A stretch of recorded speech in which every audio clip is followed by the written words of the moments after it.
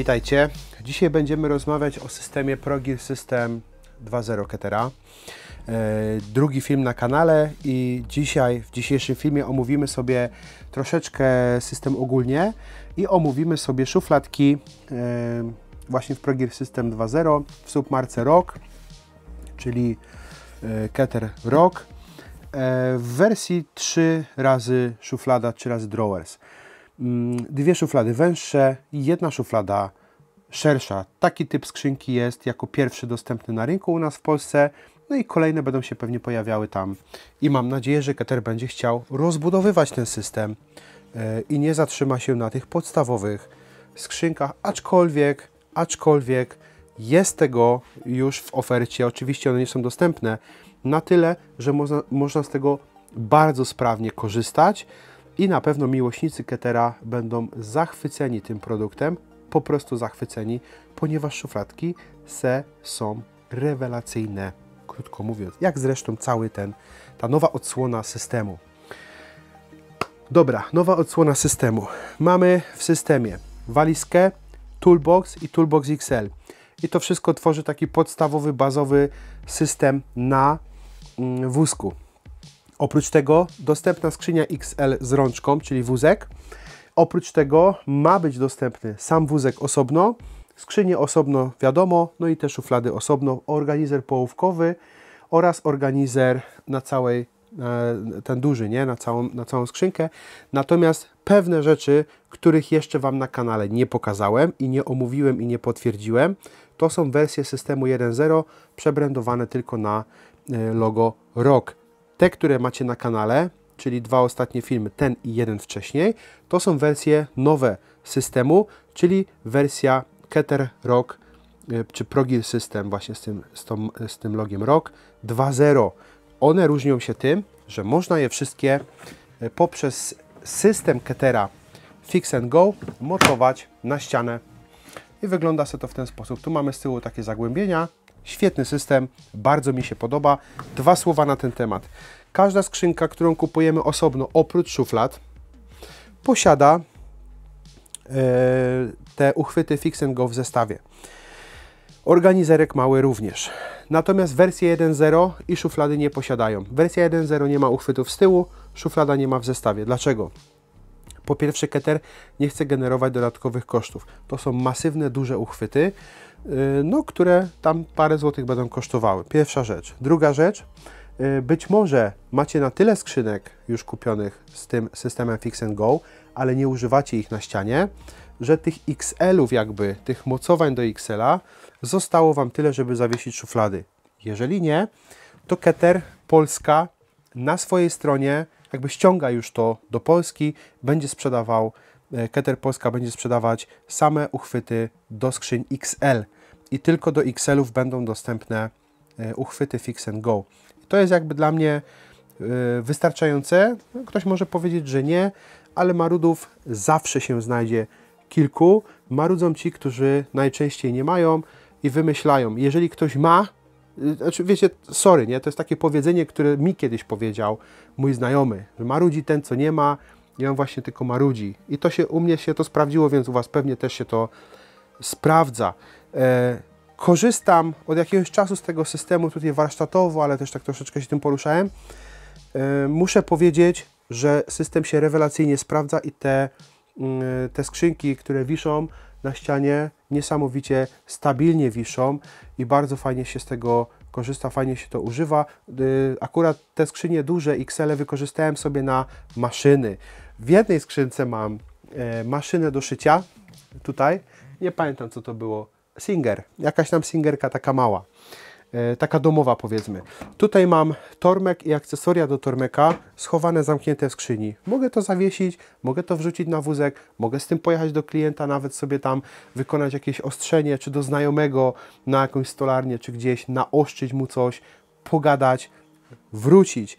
E, mogę wyciągnąć to u siebie na warsztacie i pracować powiedzmy stacjonarnie, natomiast nie mam tego na wierzchu, ponieważ brakuje miejsca, mam spakowane to w skrzyniach, zabezpieczone, zamknięte.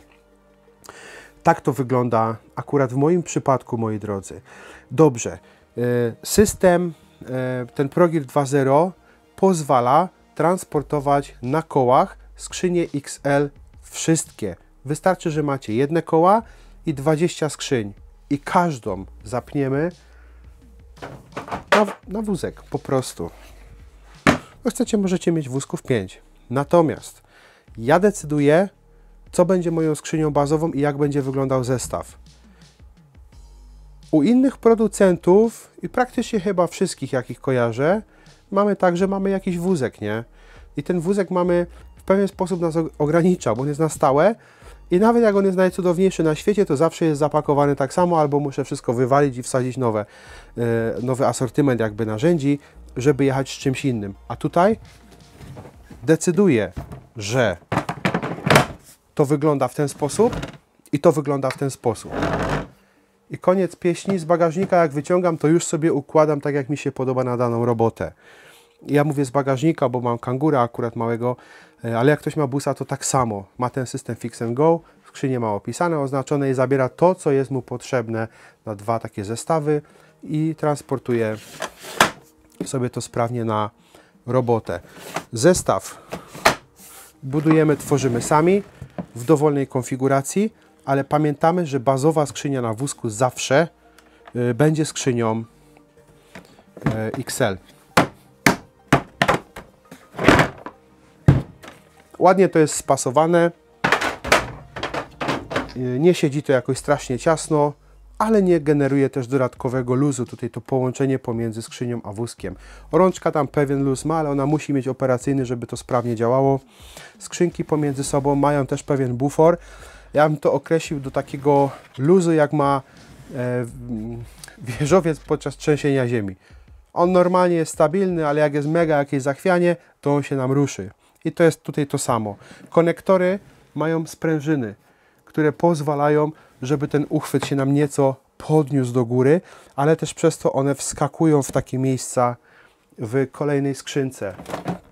Każda skrzynia systemu Brogir System 2.0 łączy się nam z tymi małymi organizerami połówkowymi i tutaj zobaczcie sobie, że to jest tak, że to nie za bardzo nam pasuje, więc musi mi uchwyt podejść i wskoczyć tam, nie?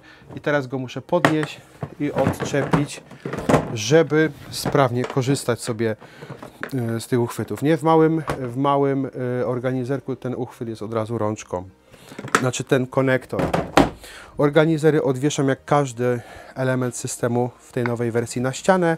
Możemy coś kombinować tutaj po bokach, bo tutaj nie dość, że mamy uchwyt na rękę wygodny, nie dość, że mamy konektor, który jest też przygotowany jako uchwyt, to jeszcze mamy dwie takie dziurki, takie otwory przygotowane być może pod jakieś akcesorium, być może pod coś, żeby przyczepić powiedzmy, nie wiem, kawałek sklejki i do tego uchwyt Fix and Go, bo te Fix and Go uchwyty na małe organizery nie pasują tutaj, nie są tutaj dedykowane jakby do tego miejsca, ale można to zaadoptować, no i sprawnie sobie z tego dalej potem e, korzystać.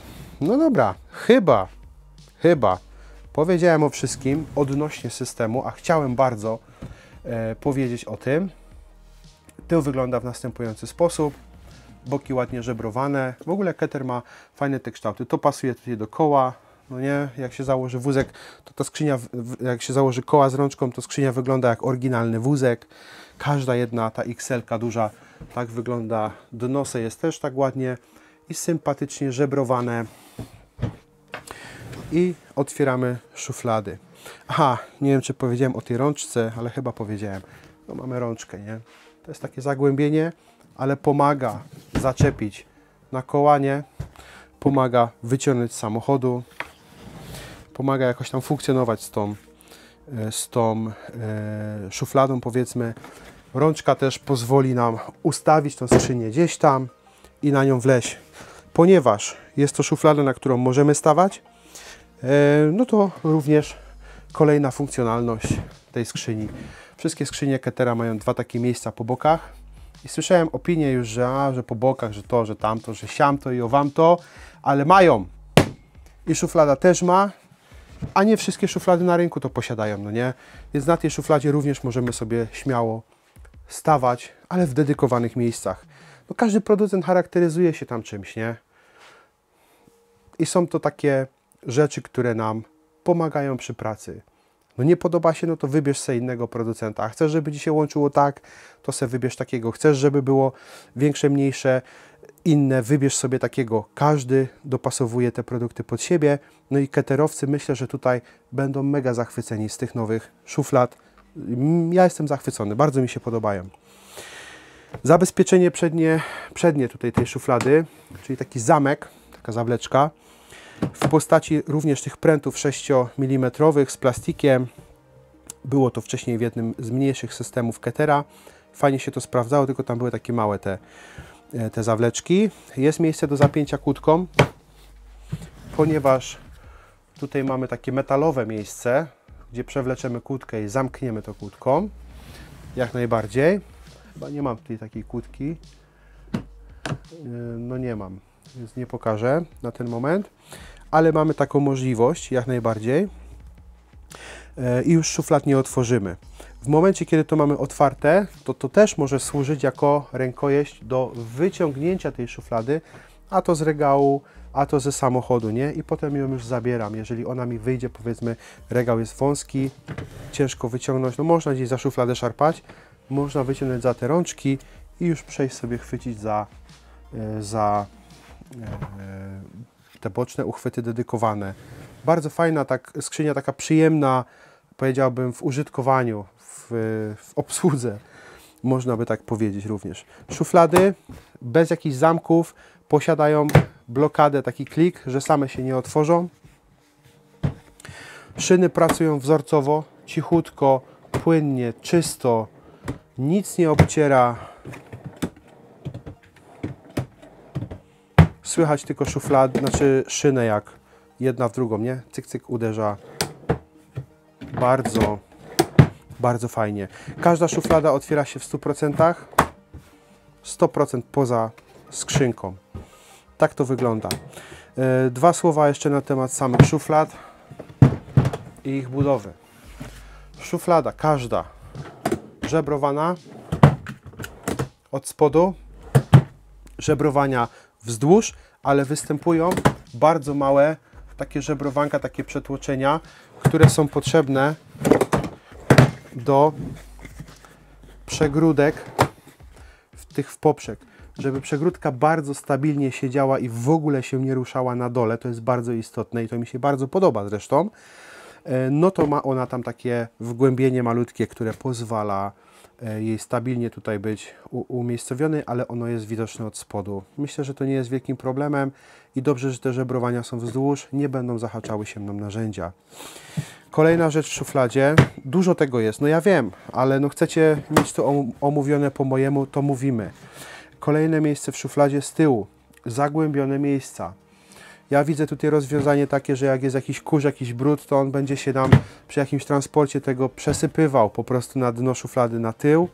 No i te narzędzia nie będą leżały w tym, w tym piachu, powiedzmy, nie? Nie będą się szurały tutaj po tym, po tym piachu, raczej się to będzie zbierało tutaj z tyłu. Kolejna funkcjonalność takiej szuflady i muszę powiedzieć, że no, jest tych rozwiązań takich trochę tutaj wdrożonych, które mi się bardzo podobają w tym systemie. Ogólnie taki elastyczne tworzywo, taki plastik, wiecie, elastyczny, z nadaną strukturą. Wszędzie praktycznie jest nadana struktura, wewnątrz, na zewnątrz i tak dalej. E, no ale jest to tak ciekawie żebrowane, że tworzy to sztywną konstrukcję. Przegrody bardzo stabilnie siedzą, bardzo stabilnie siedzą. One naprawdę tutaj są zablokowane tak, że same nie wyjdą. Przegródek się nie wyciąga, wiecie, tak, że cyk, cyk, jak nie wiem, karty z paczki z kartami, nie? Czy stali. E, przegrody powinny raczej mieć taki klik i te akurat tutaj klik mają. To mi się podoba. Mogę konfigurować takie pola 9 na 9 mniej więcej, one są trochę większe o parę milimetrów i razy te 9 mogę się tutaj przemieszczać. Natomiast mała szuflada pozwala nam podzielić pozwala nam podzielić ją, ją jakby na cztery części, ale wzdłuż tutaj nie mamy już miejsca na przegrody. Moglibyśmy coś wykorzystać, coś zrobić, bo są tutaj te miejsca, które pozwalają zaczepić te wąskie małe przegródki, natomiast trzeba tutaj zrobić samoróbkę już, żeby podzielić tą szufladę w poprzek. O wymiarach za chwilę. Dolna szuflada pozwala nam, jakby producent pozwala nam podzielić ją na trzy części. Natomiast e, nie mamy poprzecznych przegródek. Mamy miejsce w tej szufladzie, żeby wrzucić przegródkę ze sklejki. Wtedy podzielimy ją na pół jeszcze wzdłuż. E, sklejka około 10 mm. Jak porządnie to wykonamy, to ona nie musi mieć żadnych tam dodatkowych jakichś, wiecie, klików i tak dalej, bo ona po prostu ciasno się nam tutaj wsunie i będzie się działa bardzo dobrze w tej szufladce. Przegrody usuwalne, przegrody, które są fajnie zagłębione w dnie, na pewno nie przeskoczą, nie przesuną się, mają pewien taki klik tam, taki opór, żeby ją, żeby ją zapiąć. Także bardzo fajnie wykonane e, szuflady. No to wymiary, bo to nas interesuje bardzo i na to czekamy zawsze. Ja też. 40,5, ale takie z luzem. Tu są takie elementy, gdzieś tam coś wystaje czasami, więc ja już tych milimetrów nie dodaję, do pół centymetra się posługujemy. 40,5 plus, powiedzmy. Tutaj mamy 28,5 i tu bym powiedział, że takie 0, ale co jest bardzo ważne w tych szufladkach, boki, czyli te miejsca tutaj na rogach, posiadają zagłębienie do 31,5 czyli tam do środka, do, te, do, tych, do tego frontu szuflady jeszcze włożę jakiś element. 20, yy, 8,5 środek, 31,5. Dużo, duża różnica. Zobaczmy na tej szufladzie, jak wygląda yy, po skosie. 49,5, ale powiedzmy te 49 bezpiecznie jakiś element, każdy element ma zawsze jakąś grubość, nawet pręt, nawet jakaś, nie wiem, przedłużka do wkrętary, do bitów. 49, dobra? E, I teraz, moi drodzy, jedna rzecz, bo przypadkowo przed chwilą, akurat takie miałem kątowniki tutaj, chciałem je tu wrzucić. No i dobra, tego w poprzek wrzucę, tu go już nie wrzucę z kubańca, bo już mi nie wchodzi. Ale na rogu zauważyłem, że go schowam. Czyli dzielę to na pół, nie? No i mam go tutaj po jednej stronie. Kątownik, jakiś mniejszy kątowniczek. Jestem w stanie to tutaj użyć w ten sposób. Tego skurczybyka już nie, bo to jest bestia wielka i on ani tak, ani tak, ani siak, no nie wiem. Dobra, tak wszedł. Zawala całą szufladę. Ale biorąc pod uwagę to zagłębienie, zauważyłem, że on mi też się tutaj zmieści i będzie fajnie sobie funkcjonował w ten sposób, nie? Da się, da się. Można oczywiście kątowniki, inne tam narzędzia pomiarowe wrzucić do głębszej szuflady, żeby to jakby miało więcej luzu, taką swobodę jakąś w tym, w tym, w tym układaniu, przechowywaniu, jak najbardziej. Jeżeli mamy narzędzia, tu jest akurat 250 jakaś tam z Knipexa, to jesteśmy w stanie sobie tutaj 300 powiedzmy też wsadzić, włożyć, bo mamy 315 mm wewnątrz tutaj w tym zagłębieniu. Więc 300 wzdłuż pasuje. Jeszcze przegrody, bo one mają niby tak 9 na 9, ale jak zmienimy układ, to tutaj już jest 19, a na całości 28,5. Jeżeli wyjmiemy jedną przegrodę, bo przegroda też zajmuje pewną grubość, a ja też zmierzyłem z pewnym luzem. Więc mniej więcej takie, takie wartości 9,5 centa na 9,5 centa bezpiecznie górą patrząc, no nie, na tych pogrubieniach jesteśmy w stanie wrzucić. Ostatnie wymiary i będziemy kończyć. Głębokość 5,5 a duża szufladka ma głębokość 12,5 no i koniec filmu. Macie szuflady omówione, temat jest wyczerpany. Myślę, że można by to było kiedyś porównać z czymś, no ja mam tych szuflad, e, jeszcze mam dwie, trzy wersje e, różnych tam jakichś szuflad, więc być może się za to kiedyś zabiorę, a być może też zrobię taki film, jak tutaj przypadkowe narzędzia wyglądają, żebyśmy mieli po prostu informacje na temat tego, jak to wygląda zagospodarowane. Jeżeli byśmy chcieli opisać, jakby oznaczyć te skrzynie, mamy takie pomarańczowe miejsca, one są na klik tutaj, wrzucone, więc można tu pisakiem to, to jakoś oznaczyć, opisać. Naklejki również tutaj w tej środkowej części, na tym pomarańczowym albo z boku możemy umieścić. Taką mamy opcję, tyle mamy miejsca na opisy. Ja jestem bardzo mile zaskoczony jakością tych skrzyń. Czekam na Wasze komentarze, uwagi, e, jak się Wam produkt podoba. Być może używacie i chcecie skomentować. Śmiało komentujcie pod filmem. Życzę Wam jak zwykle miłej pracy. Trzymajcie się. Hej!